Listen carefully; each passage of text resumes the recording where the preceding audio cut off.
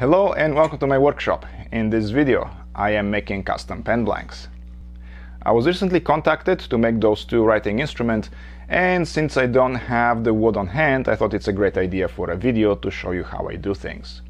Like everything else that I do, everything begins with a layout and this time the layout is on a piece of paper, so let's see it.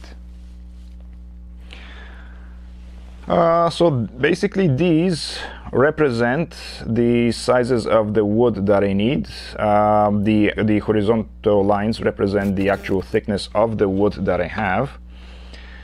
Uh, and those marks right here represent the outermost edges of the actual finished pen. Uh, the dotted line represents the center, which I am hoping that once everything is done, I will be able to drill right at the center, but you know, we'll see, there's always a margin of error there. And once I know this, I began to experiment with placing the slanted lines, which would represent the contrasting wood ring, uh, to see how it looks. And I found these are the best measurements. Now, the easiest way to do this is, you know, cut everything at the right angle, take a little piece of planed wood and stick it in there and glue everything back together. But the problem with that is you are exposing some of the end grain of the contrasting wood.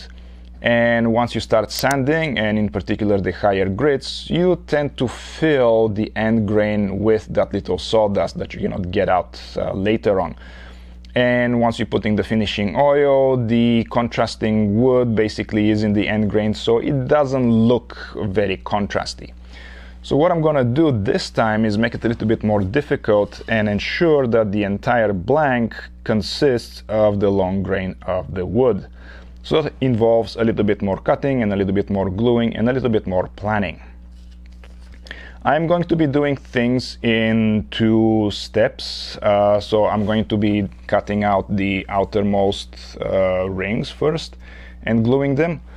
And the same thing with the cross ring. I'm just to glue one side, cut and glue one side. And then I'm going to cut the innermost rings and glue them. So that way everything's to be ready at roughly about the same time. So without further ado, and let's see how the process goes.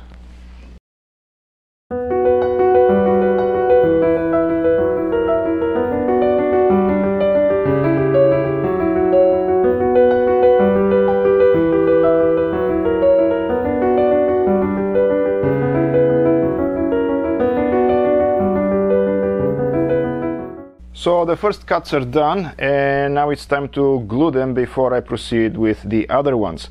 Of key importance was this little sacrificial piece of wood that uh, one side is cut at 90 degree and the other one at 30 degree with a double-sided tape at each side and that way I was able to simply pick out all the cut pieces as they come off the table saw so that they don't get damaged in the process.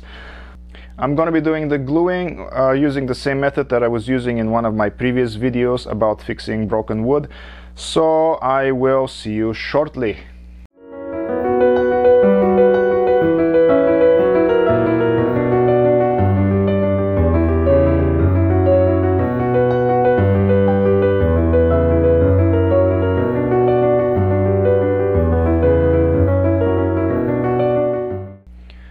First round of gluing is done and it's all right here. We're gonna do the reveal in about two hours. I'm just gonna give it a little bit of extra time for the glue to cure. Uh, notice that I didn't do the cross pattern yet and that's because I want to preserve the angle the saw blade currently is. Uh, I mean, I have a tool that tells me the angle pretty much bang on, but you know, once the tool is set, I just want to reuse it as much as possible. So once I do the second rings for this particular piece, then I'm gonna turn the blade to 45 degrees and begin doing the cross pattern.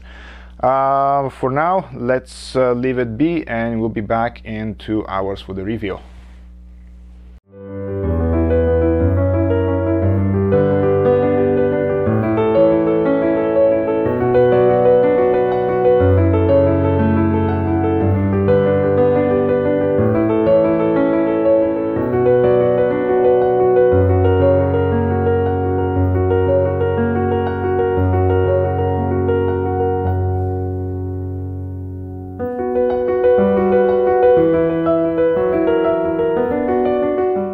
So my memory card got full and some of the footage is definitely lost. So here is a little summary of what happened. So here are the uh, initial uh, 30 degree angle cuts for the rings that I've done. Uh, there was nothing much to it. Uh, as you remember, I did the outside first and then I did the inside ones. There is absolutely no problem. And now they are ready to be converted to the pen. The 45 degree cross has been more challenging than I thought.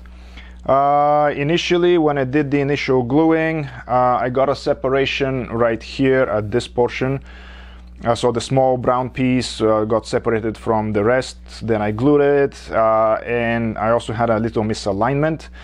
And when I tried to do something with it, then the other part got uh, disassembled as well. Um, so I started with a fresh blank.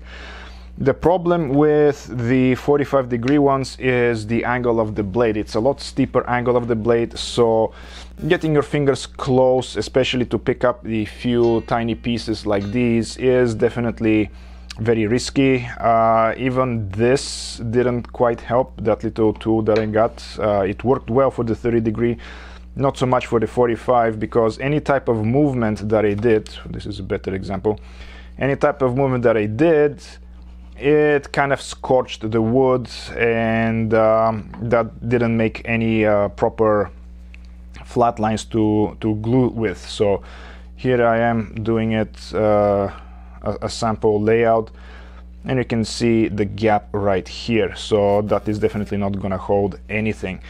So I did a few drastic steps and that was putting a double-sided tape right here where the cut line is so that when I cut a particular piece it kind of still gets stuck where it is and I didn't have to worry about movement of my left hand with this little tool and that uh, seemed to do the trick now it is gluing and in about two hours I'm gonna do the other cut and glue the other piece so I'm hoping this is going to be the final gluing of the uh, of the blanks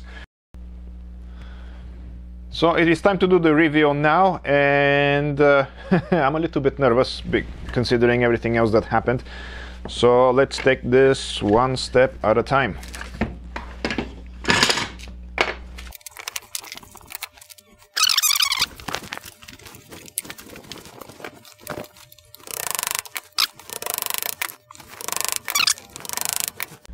Yeah, this is close to perfect. Uh, there is no gap, no misalignment in here or in here. Uh, so I'm just going to clean up some of the surfaces and then take it to the table saw. So the next shot would be me cutting the second piece away.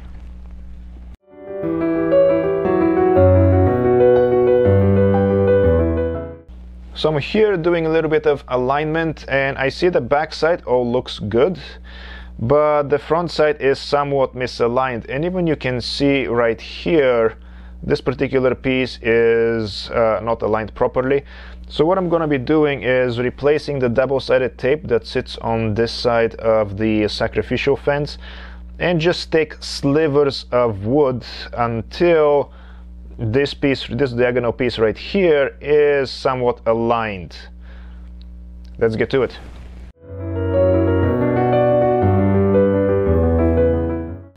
After the first attempt, it's getting pretty close to being perfect. Maybe another minor pass and that would be it for it. I don't want to take too much, otherwise it's gonna completely ruin it.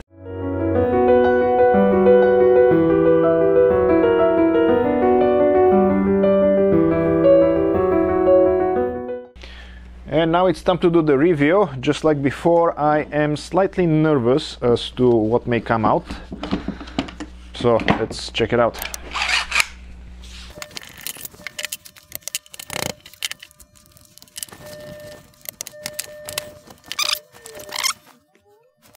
And this is it, a perfect fit, I must say.